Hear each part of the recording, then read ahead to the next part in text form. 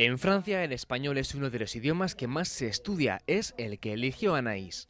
Puedes elegir entre el alemán o el español y mucha gente elige el español, porque es la segunda lengua que se estudia.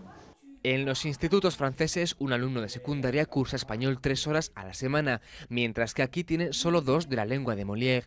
Aparte de eso, no hay casi diferencias en las enseñanzas, quizás sí en la mentalidad de los alumnos más conscientes de la necesidad de dominar idiomas. Están los eh, alumnos muy mentalizados que pueden viajar, eh, están muy mentalizados de que el idioma permite comunicar, eh, expresarse y da mucha abertura. Los sistemas para aprender idiomas se van igualando y la práctica se impone como la manera más eficaz. Pero ¿cuáles son las claves de la metodología para aprender español en Francia?